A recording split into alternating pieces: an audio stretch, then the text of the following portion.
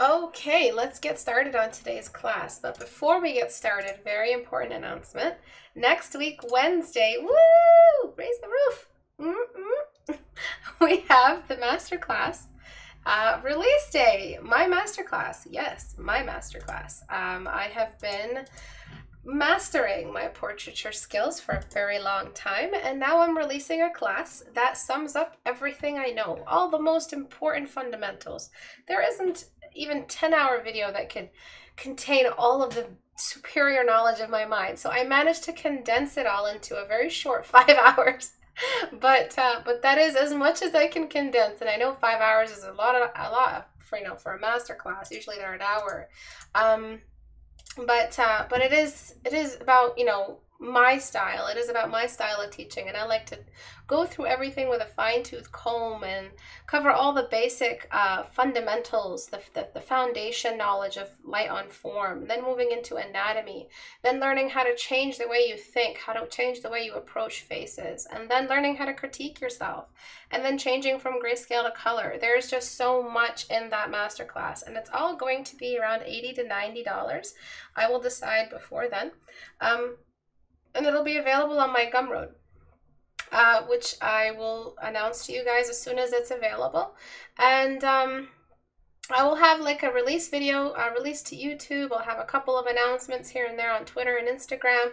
So depending on where you where you are, you know what you frequent online, there will be an announcement there. Um, but if you are interested in this, if you have a friend who wants to learn portraiture and uh, learn it the right way, um, you can entrust them to me in my masterclass. Uh, so please do get you know get it out there if you can. Spread the word um, that it'll be released June first. I cannot wait until it's done because it has been weighing on my heart and mind and shoulders for a really long time. I can't believe it's here. I can't believe it's done and it's ready to go. Um, I'm just going to run a couple of editing passes from now till Wednesday just to make sure it's perfect, but most likely it'll be available Tuesday night and then Wednesday I'll just do promos and stuff like that. Tuesday night, like Wednesday morning.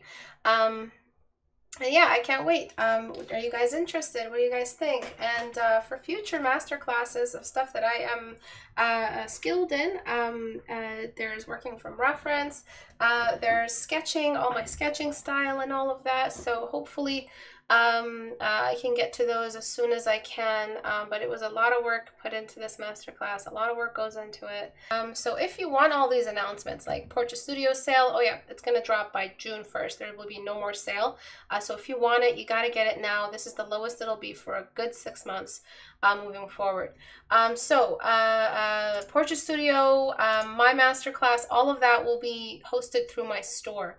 Um, so Gumroad will be linked through my store, but it'll be available there. So go to istebrak.com and click on the store. And to join us on the Reddit, to get your work critiqued, to hand in your work for critique, like the way I'm critiquing this piece today, click on the Reddit icon here at the top right. It'll take you to the Reddit.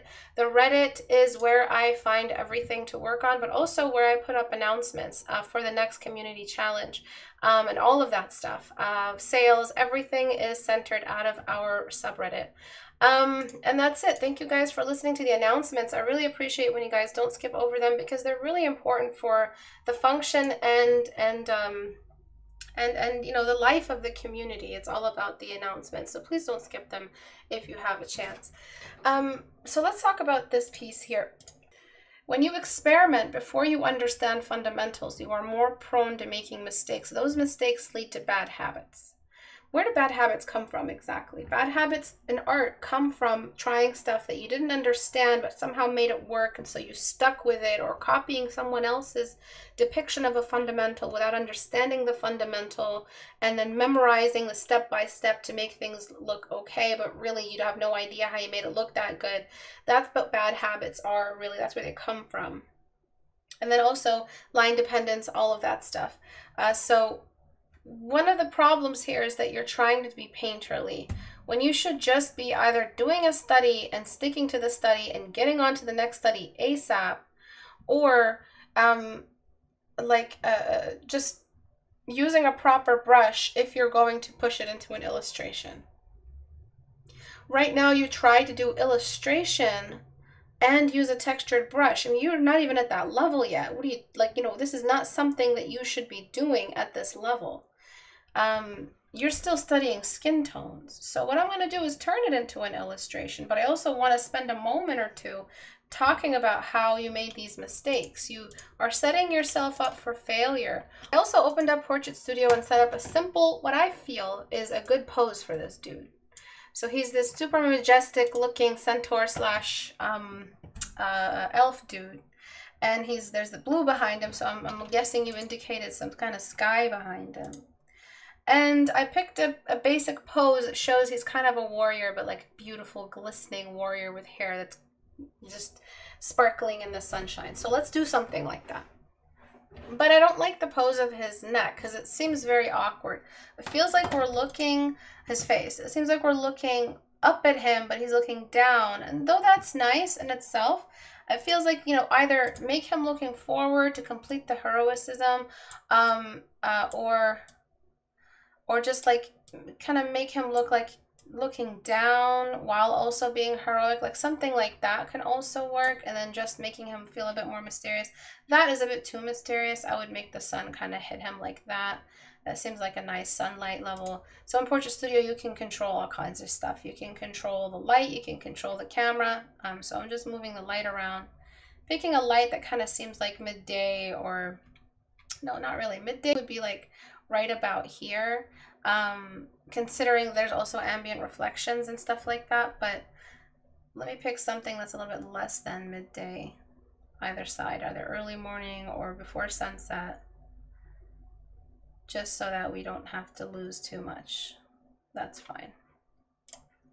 And I'm just gonna turn off his joints. Um, and then from there, where I just want to pick the right camera angle, like I talked about last class, like a low camera angle will really make him look heroic.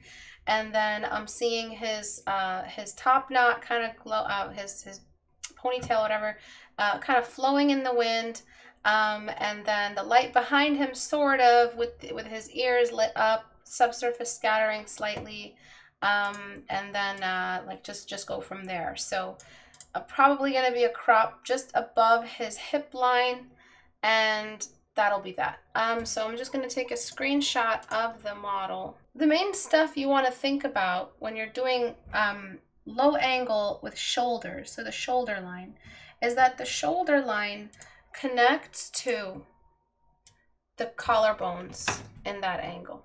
So clear canvas. So right here, do you see that? It's one line. Whereas in front view, you have shoulders, and then you have collarbone, and then you have the neck. Excuse the sketch, I'm using my mouse. Um, so that, that's how we can tell that we're looking up at his shoulders from this angle, and the person here is like in love looking at him this way. So the shoulder line connects with uh, the, the, the, the collarbones. So that's what we're looking for here. That's what we want to do. Okay, and his hair, based off what you drew before, was kind of brownish, goldenish. Um, I wouldn't I wouldn't say it's golden. I don't know. Um, and then I'm just going to Photoshop the Portrait Studio model in there just so I can save some time. So I'm selecting. Oh, this is going to be tricky. I should have just changed the background value of the portrait. Um, that's okay. Uh, oops. Select inverse, copy, paste, very small, and uh, I'm just trying to match the uh, the scale. So I'm just doing this a lot nowadays just because I, I want to do those big critiques where things change in a big way but I also don't have time to turn the class into a, a, an hour and a half. So I'm trying my best to stay within the six o'clock kind of uh, time limit. And then simple, just get color mode on your brush. Pick the skin tone, doesn't matter which one, just pick it and uh, brush it over. Then we can get a starting point for the colors. And what you want to do is basically blend out each plate. Let me uh, blend out each plate together so that you, what you have left behind is the, let me delete that. is the natural transition from surface to surface. So you're just blending out the plate line, leaving behind the flesh, really. For those who want a photo bash. For those who don't, you'll know, you know, also based off where I'm blending, where to blend in your studies of, of the uh, Portrait Studio model. Obviously, we don't blend edges like this. This is an overlap edge. So don't blend overlap edges. And if you are um, rendering guys with muscles, you want to blend a little bit less just because they have more definition. And guys that are chubbier or just don't have muscle structure or thinner, they, they don't have that definition so you can overblend. But the Portrait Studio model is, um, he was manufactured to be sexy. he's a very sexy man. So he's got a lot of muscles. He pulled no punches with the sexiness of Portrait Studio models. They are top tier, A1. Um, respect the world of your canvas. Gotta write that down. Yeah, you have to believe that that sun is shining on a real thing and that real thing is going through something real and that thing that it's going through is, is, is the best time to take a picture of it. There's a specific time of day where you can establish that mood or set it up as, as the video master, as, as the director, um, as the storyteller. So there's a lot more to drawing a guy on a canvas than just drawing a guy on a canvas. There's a lot of preparation. Um, so uh, I'm going to reselect him. I don't want him to be naked, but I also don't want him to be overdone. So I'm just going to add very simple values. I'm going to drop that level this way. And um, now I'm just going to raise that background value up. Is my flux on? No, it's not. So I'm just raising that background value up. I'm going to saturate all the way and just make it like a daytime value. So that way his color and his color wash is all going to be it's all going to make sense. So men's uh, eyes tilt down on that corner, but in this case it's even more so because of the angle at which we're seeing the eyes. Oh no, did I unlock? I did unlock, didn't I? No? Oh, thank God, okay. And then I'm just gonna bring the hair back. And I just don't really want the hair there anymore. Um, the hair shouldn't be kind of taking up too much of the uh, of what we're looking at. So something like that. As for the colors of the whole thing, um, so it's very yellow, and if you wanted to have it as yellow, that's fine. Uh, you just got to make sure shadows are cooled down. So I'm going to cool down all shadows. Basically, I'm just moving the, the eraser for shadows, um, the slider for shadows, and then deleting back at whatever the light can reach and leaving that as golden or yellow. And then just playing around with opacity to get that all to, to work together. That's really the secret to any skin tone. But overall, I think the skin tone is a touch too yellow altogether. Um, and then there's just not a lot of white. Uh, so white exists on the skin even if it's dark skin. Uh, that's because the sun has a really strong presence to it. Before I mess around anymore, I want to kind of get that sky color working. And then just play with levels to get things back up to being bright and desaturate just a little bit for subtlety. And I'm, I'm going to follow this with even more dodge tool because that's the secret to making stuff look sun-kissed is that extreme sudden climb in the values. And then from there, we can really uh, let that distort the edges of some stuff. I don't like using dodge tool because it's so gross sometimes. So I'm just going to do it with white. Those are the areas that we could really zone in on because that's where he's getting the most sculpting. Um, I really don't like the eyes. I'm not feeling them, so I'm just going to black them out for the most part. Just because I want to capture more of his characteristics than just his eyes. And then I'm going to reliquify the eyes just so everything is fit back together.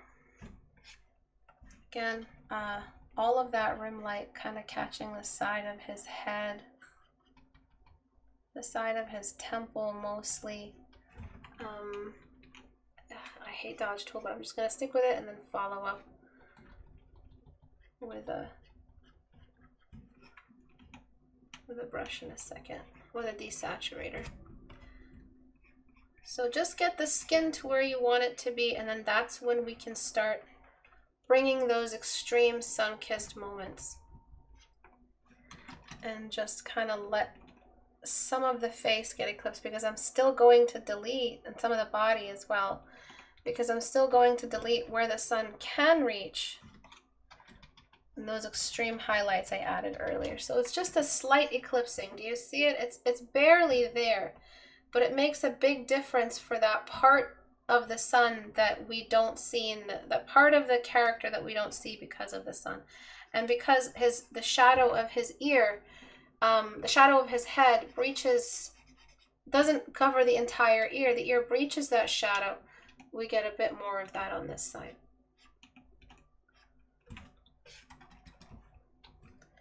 Am I still? Yes, I am. That is why.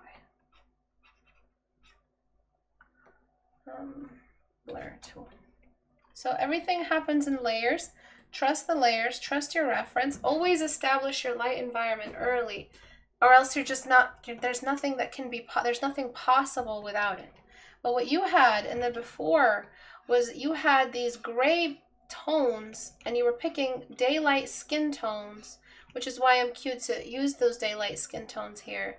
But then you had a rim of blue. I mean, you're setting yourself up for failure like this. Just pick a daylight color that works for you.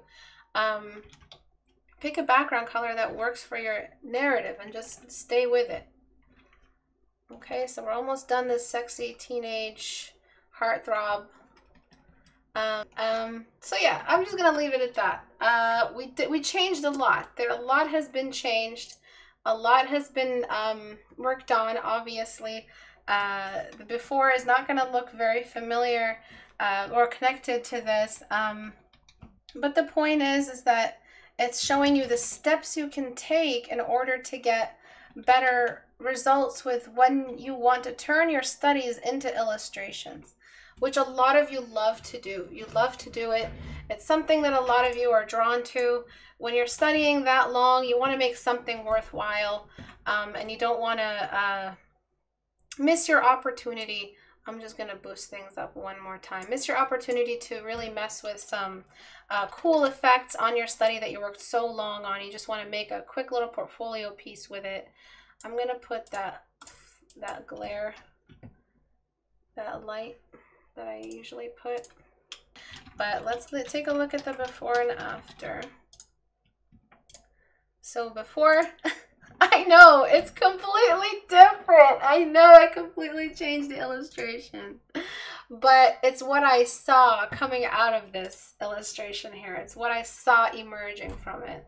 Um, it's the blue of the light behind him that inspired me to make some hair catching the light. It's the light on the character's skin tone. I know, I really changed it. Um, but it's it's fun. It's fun. It was a fun little experiment. Um, and uh, uh, it just shows how safe you guys are being with your background values. You don't have to be that safe all the time. And just take a look at the ears he drew. Look, this is what threw me off. It was, it was the ears. Excuse me, my keyboard exploded. Um, it was the ears that he drew that really, um, I was trying to just stick to them. I was trying to stay true to that anatomy.